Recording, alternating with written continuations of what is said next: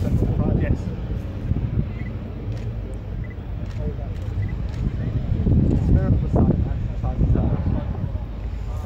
So the fighters all into the air, and they're to be followed by the Avro Lancaster 1, serial PA474. This aircraft appearing here at the Air Tattoo for the first time since 2014.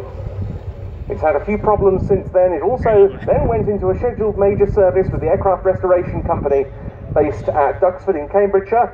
It's emerged from that absolutely pristine. We're delighted to see it back, and it'll shortly be on the roll. A bit bloody bright.